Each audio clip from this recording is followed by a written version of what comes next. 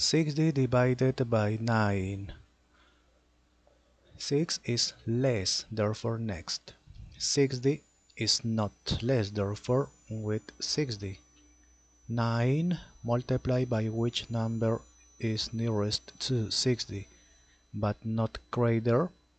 9 multiplied by 7 is greater, multiplied by 6, 54 is not greater subtract that next next that is not number therefore complete always complete with zero here with point. Complete point okay. 60 9 multiplied by 6 subtract complete. Complete point point is here.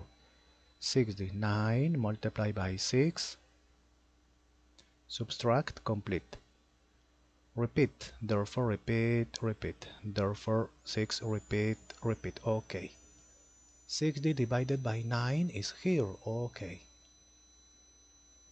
or after the point 6 repeat. Therefore like this. Repeat. Okay